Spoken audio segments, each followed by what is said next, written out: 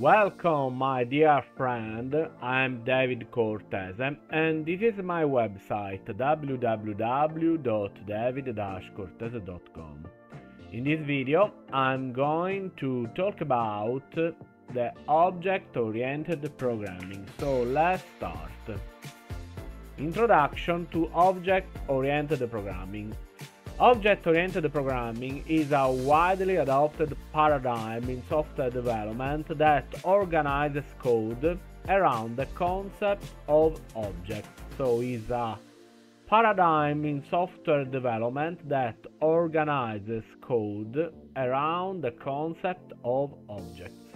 It offers a structured and modular approach to designing and building software systems Object-oriented programming promotes the reuse of code, reuse of code, enhances maintainability, and encourages the modeling of real-world entities and their interaction. So real-world entities.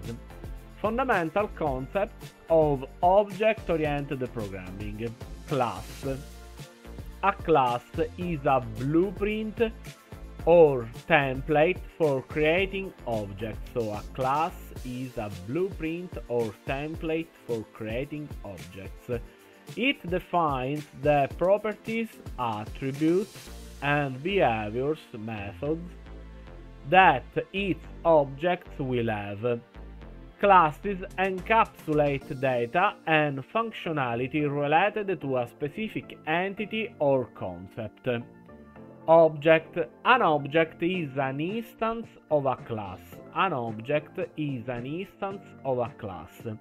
It represents a concrete real-world entity with specific characteristics and behaviors defined by its class. Objects can interact with each other by invoking their methods. So objects objects can interact with each other by invoking their methods. Encapsulation. Encapsulation is the concept of band bundling data attributes. So encapsulation is the concept of bundling data attributes and methods that operate on that data into a single unit like a class. It restricts uh, direct access to an object's internal state, allowing controlled access through methods. This protects the data from unintended modifications and ensures that the object state remains consistent. Inheritance Inheritance is a mechanism that allows a class, subclass or derived class to inherit the properties and behaviors of another class, superclass or base class. It promotes code reuse and establishes an is-a relationship between classes. Subclasses can extend or override the inherited characteristics. So inheritance is a mechanism that allows a class, subclass or derived class to inherit the properties and behaviors of another class, subclass or base class. Polymorphism.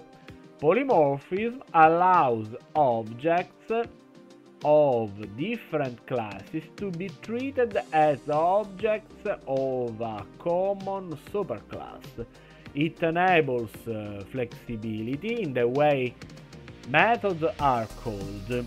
Two common forms of polymorphism are compile time method overloading and runtime method overriding polymorphism. Benefits of object-oriented programming. Modularity.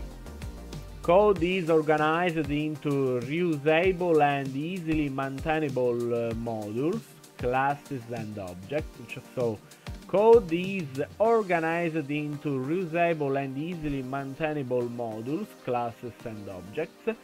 Modularity is the division of a software system into separate interchangeable modules, each responsible for specific functionality. This concept fosters maintainability and code organization.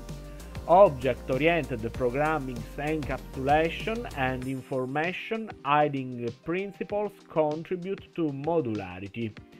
Reusability Existing classes and their objects can be reused in new projects, reducing development time and effort. Usability is the ability to use existing classes and objects in new contexts or projects.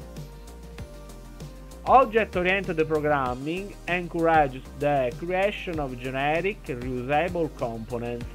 Libraries and frameworks are prime examples of reusable object-oriented programming code.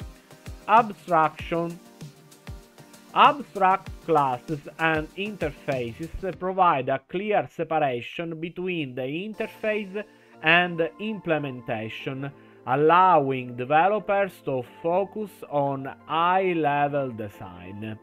Abstraction is the process of simplifying complex reality by modeling classes based on their essential characteristics while ignoring unnecessary details. Abstract classes and interfaces define the structure and contract that concrete classes must adhere to promoting a clear separation of concerns. So, abstract classes and interfaces provide a clear separation between the interface and the implementation, allowing developers to focus on high-level design. Extensibility New classes and objects can be added to extend existing functionality without affecting the existing code base.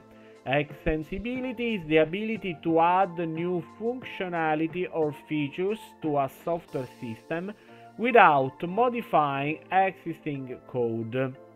Object-oriented programming supports this through inheritance, allowing developers to create new classes that inherit properties and behaviors from existing ones. Encapsulation Data hiding and controlled access improve data integrity and security. Polymorphism it allows for flexibility and adaptability in code design and execution implementing object-oriented programming in practice. To implement object-oriented programming in practice, you need to follow some steps. Identify and define the entities or concepts relevant to your problem domain.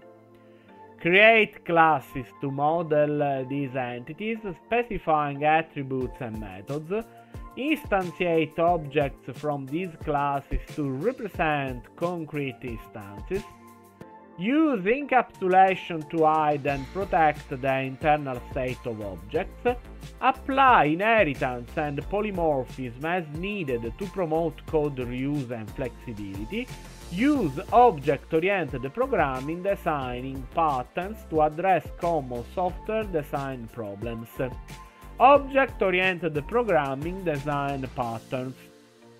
Object-oriented programming design patterns are reusable solutions to common software design problems. Some well-known design patterns are singleton pattern, factory pattern, observer pattern, strategy pattern, decorator pattern, MVC model view controller pattern. These patterns help maintain clean, organized and scalable code by providing tested and proven solutions to recurring challenges. Conclusion Object-oriented programming is a powerful and widely adopted paradigm that brings structure and organization to software development. So it brings structure and organization to software development. It promotes modularity, reusability, and, and extensibility while enhancing code maintainability and scalability. Understanding the fundamental concepts of principle and principles of object-oriented programming and applying them effectively can significantly improve software design and development processes. So thank you for watching, see you next time, bye bye!